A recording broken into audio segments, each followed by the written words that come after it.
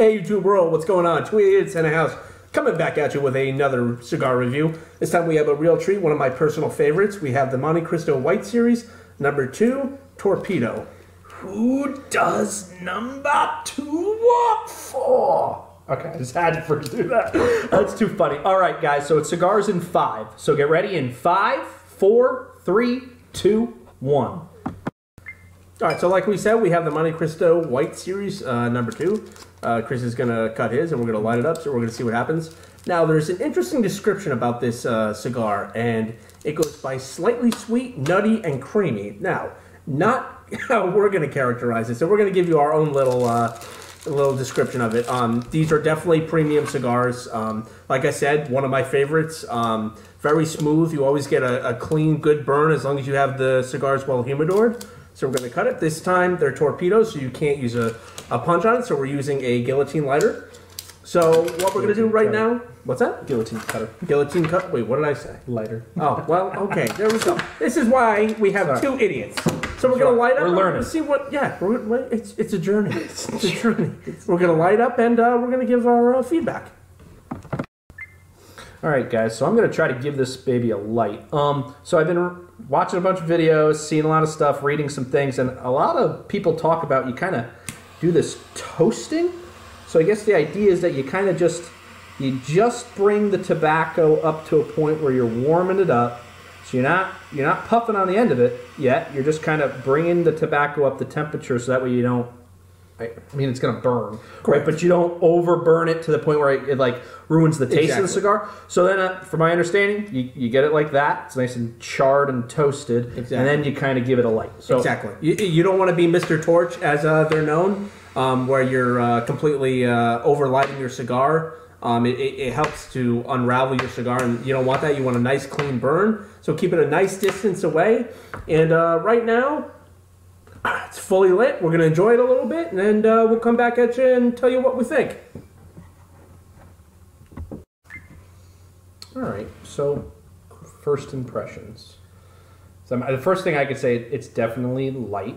I mean, so it, I mean, looking at it, you would kind of intend for it to be, and it's not necessarily something that you know is highlighted about this, but I do like it because sometimes I mean I've smoked a lot of cigars where you get like you know, when you get toward the end of a cigar or the middle of a cigar, and you get this like urge to kind of spit. you need to drink water. You need to drink something with it. You can't just drink smoke it by itself. I've definitely got there before, but this doesn't this doesn't taste that way. It's not giving me me that piece of it. But I also can definitely say I'm not really getting sweet either, though. Correct. Correct. I I always I have. say it's a sweet cigar. Like the other ones that we've had, yes. like they're sweet. Like you put your mouth on it and you could tell that it's sweet right off the bat. There's not. It's not a lot of questions and answers right. about it. Right.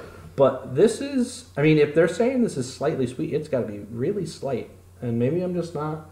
Maybe I'm just not getting it. No, I. You know, when I always smoke these, usually I save them for uh, special occasions like uh, weddings, graduations, um, mm. stuff like that. I always find that it's um, just a smooth, clean burn. Um, you get really, really good tobacco with this, and with really good tobacco, you can definitely tell the difference between you know a cigar that's rolled properly with high-end tobacco versus you know one or two dollar cigars, which you know back back a few years ago, uh, my friend and I we definitely tried, and you know the the lower end tobacco will put you on your ass, and uh, yeah, it's. Uh, Actually, I had one last week. Oh yeah, yeah. One of the guys, one of the guys that I was with uh, working with was uh, very stressful day. He comes out and he walks up to me. He's got like the cherry, the cherry sticks up from the like, gas and I'm station. sitting there and I'm, and I'm, like, I told you I made a video, and I'm sitting there. I'm like, like. You know this is going to be awful, and he and the first thing he goes out of mouth is, "I know they're awful," but at the same time he goes, "I know you don't smoke cigarettes."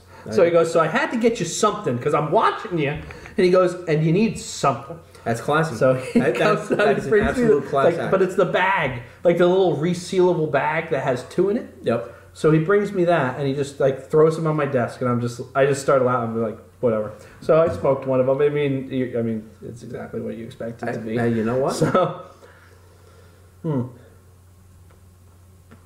That's what I got. I mean, like I said, it's smooth. It's yep. a nice pull.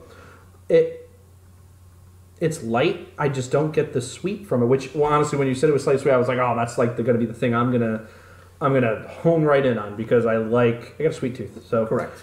I'm like thinking that's what's gonna pull through in front of everything else to me and kind of dominate everything, but I'm not getting that. So Nope. interesting we'll- surprise, but We'll, we'll uh, come back with our final thoughts. So, uh, final wrap up thoughts. Uh, this is definitely a good premium cigar for any special occasion. Um, I highly recommend that you go to JR Cigars and, and, and other sites like that and go to auction because these can be a little pricey when you're buying them uh, per stick. Um, even if you go and look at the box, right? I mean, you go look at the price for some of these cigars; they get very expensive. So I mean, absolutely.